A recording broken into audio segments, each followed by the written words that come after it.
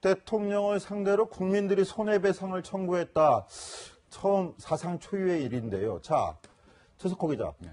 소송을 제기한 국민들이 이긴다면 박근혜 전 대통령 측으로부터 손해배상을 받게 되는 건가요? 네, 그렇습니다. 그 국정농단 사태를 보고 느꼈던 우리 국민들 얼마나 피해를 느꼈고 분노가 치솟아 올랐습니까? 그래서 이 국민들이 이것을 참지 못하고 결국 소송전으로 이어갔습니다. 박근혜 전 대통령 때문에 우울증이 걸렸다. 박근혜 전 대통령에 대한 위자료 청구 소송 이렇게 진행이 됐습니다. 정신적, 신체적 피해를 배상하라 이겁니다. 시민 9,500여 명이 참여를 했는데요. 1차 접수에서 5,001명, 2차 접수에서 4,160명, 그리고 3차 접수에서 416명이 접수를 했습니다. 그래서 총 9,500여 명에 달하는 시민들이 결국 위자료 청구 소송에 참여를 했는데 오늘 열린 소송은요. 바로 이 1차 접수에서 했던 5천여 명입니다.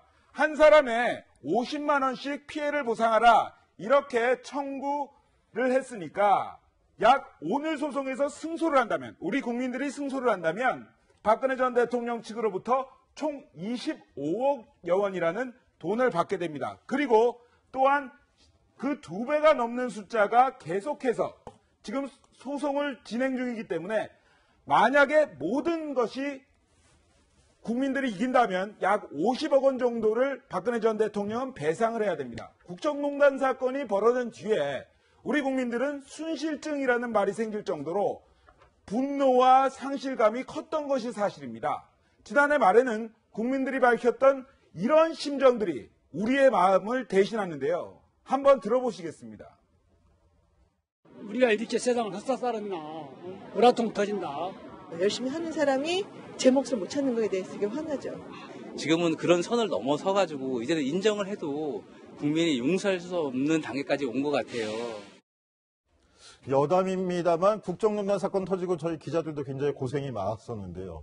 자, 이현수 기자. 네.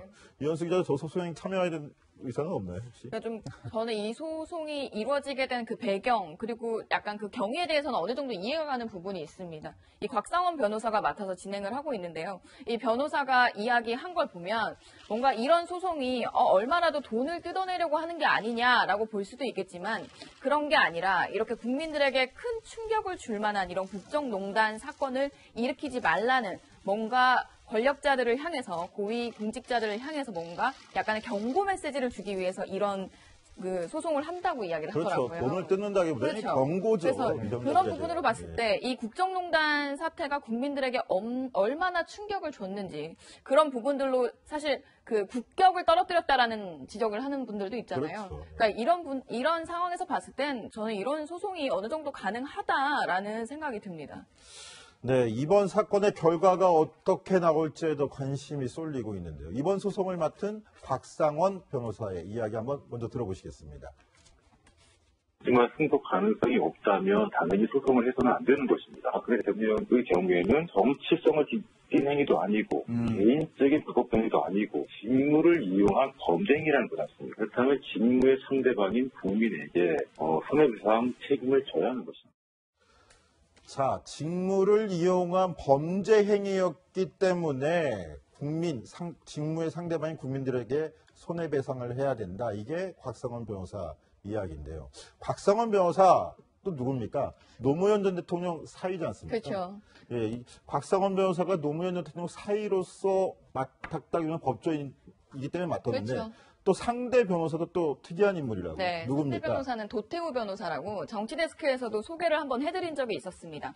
박근혜 전 대통령의 변호인단 중에 한 명인데요. 처음부터 합류한 건 아니었고 최근에 이제 검찰에서 재판이 본격화되면서 합류를 한 변호사인데 도태우 변호사 같은 경우는 소설가라는 이력을 가지고 있는 좀 독특한 이력도 있고요. 그리고 이 법무법인 주원 출신인데 이 주원이라는 데가 그 박근혜 전 대통령의 올케인 서양희 변호사가 대표를 맡았던 곳이기도 합니다. 그리고 실제로 이 도태우 변호사는 태극기 집회 참석해서 연사로 활동을 하기도 했었고요. 그리고 새누리당 창당의 뭐 발기인으로 이름을 올리기도 했었고 최순실 씨 관련 사건에서 태블릿 PC 보도를 한 언론사를 고발하기도 하는 이런 도태우 변호사와 그리고 노무현 전 대통령의 사위로 유명한 곽상원 변호사가 사실상 맞붙게 되면서 뭐 노무현 전 대통령의 상징성과는 사실 이 사건은 큰 관련은 없지만 이렇게 약간의 그 알려져 있는 변호사, 유명 변호사들이 맞붙으면서 이 사안이 어떻게 흘러갈 것인지 또 관심 있게 지켜보는 시선들도 있습니다. 또 한 가지 관전 포인트인 네, 것 같아요. 그렇죠. 그 부분도. 예, 형사재판에 이어 민사재판까지 받게 되면서 박 전 대통령 그야말로 사면 초과에 놓인 상황인데요.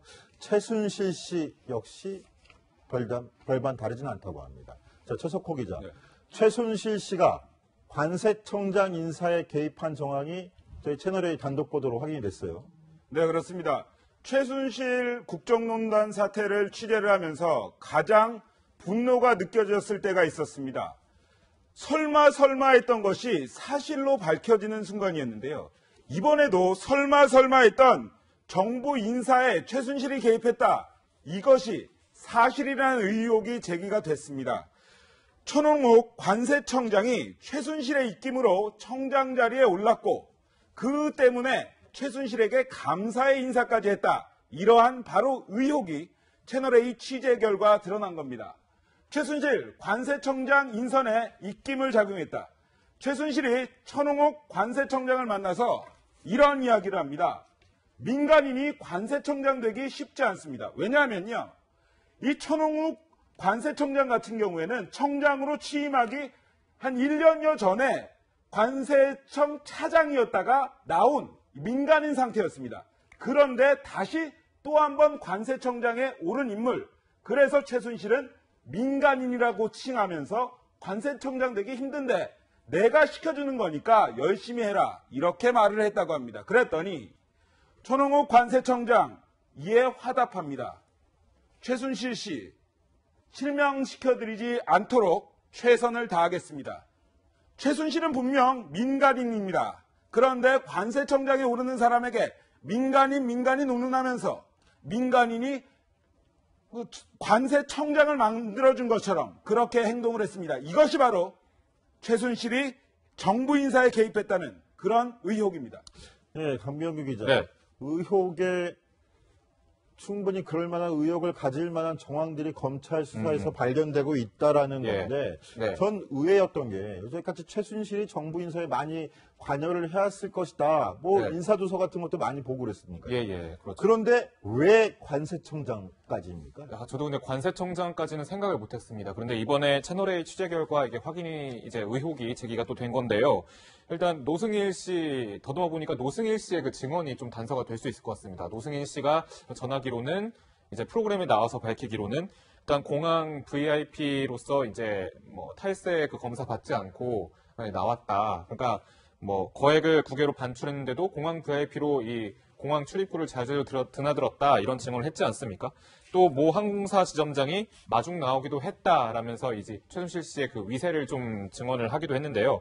그러니까 다시 말하면 최순실 씨가 이 국외로 재산을 반출을 하거나 어떤 귀중한 물품을 이게 해외에서 가져오거나 혹은 우리나라에서 해외로 가거나 하는 경우가 정말 많은데 결국 이 공항의 관세 의 벽을 좀 쉽게 뚫려고 하는 거 아니었냐라는 그런 생각을 좀 해볼 수가 있습니다. 그러니까 돈을 바깥으로 독일이나 뭐 해외에서 예, 예. 사업 벌여둔 게 많고 그러니까 예, 예.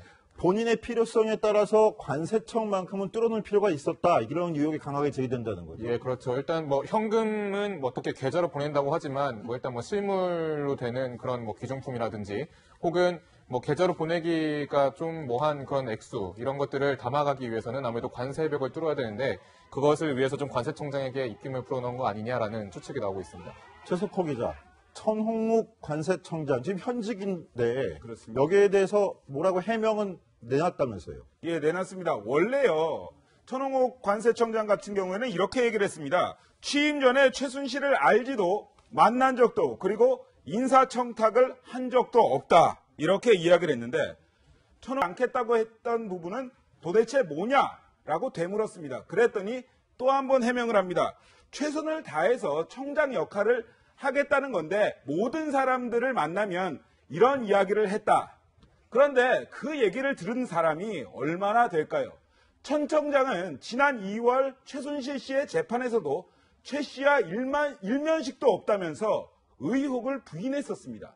이 때문에 천 청장의 해명이 오히려 논란을 키우는 것 아니냐 이러한 모양새라는 지적이 나옵니다. 천 청장의 주장 일단 들어보시겠습니다.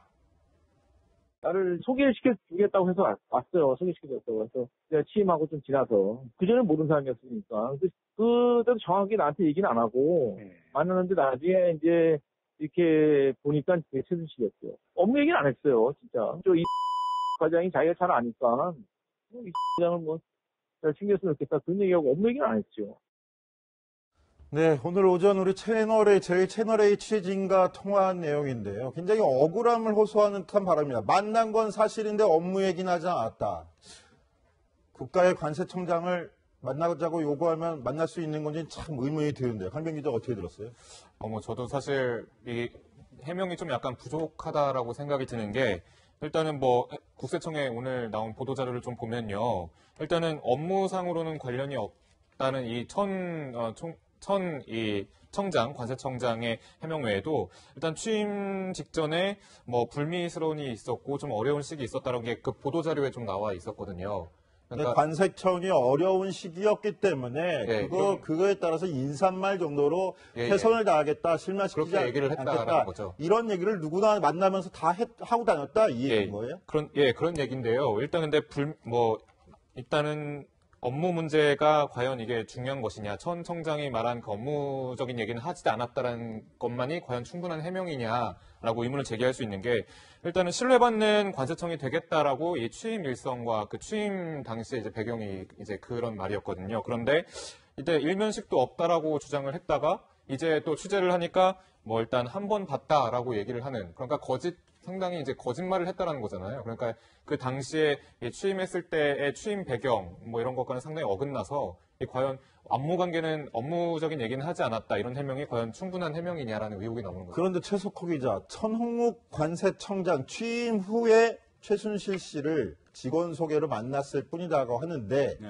이미 앞서서 제기된 의혹에 따르면 최순실 씨의 신복이나 다름없었던 고영태 씨가 천 관세청장을 취임 전에 면접을 봤다 이런 의혹도 제기됐었던 거 아닌가요? 그렇습니다. 그 면접을 봐서 고영태 씨가 먼저 만나서 뭐 최순실이 관세청장 하나 좀 알아봐야 하는데 좀 만나봐라 해서 고영태가 만났다는 겁니다. 그래서 왜 취임 전에 왜 고영태를 만났느냐 그렇게 또 우리가 물어봤습니다. 그랬더니 청장과 국- 관세청 직원이 만나는 자리에 만나고 있는데 고영태가 잠깐 와서 얼굴을 봤다. 이렇게 이야기를 했습니다. 그런데 여기서 의문이 하나 듭니다.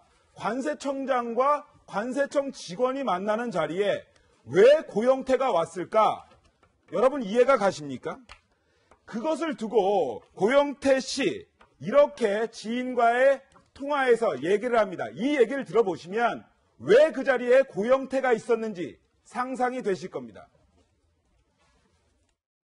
총장도 개인적으로 내가 만났고 혼자 만났고 소장은 몰라. 내일 발표하는데 내일 발표하는데 내일 임명되면은 내일 모레나 한번 만날 거야. 만날 때 같이 만나고 과장님이랑 같이 만나고. 세관장은 볼 일이 별로 없어. 여기는 없으니까. 다른 걸로 세관을 해서 뭔가 들어올 때 뭔가를 풀어준다 그런 거를 한번 연구를 해보라는 말이야.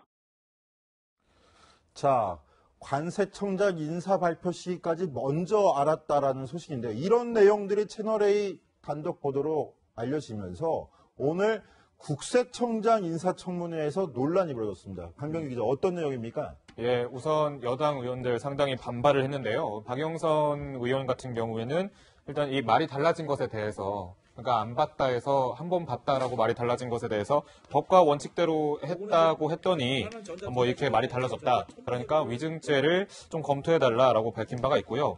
송영길 의원 같은 경우는 의원으로서 이제 모욕감을 느낀다. 그러니까 엄중한 법적 심판을 해달라라고 이제 요구를 했습니다. 이렇게 또 박영선 의원은 또 청홍욱 관세청장이 도대체 누구를 믿고 그러나 했더니 바로 최순실이었군요. 라면서 SNS에 밝히기도 했는데요.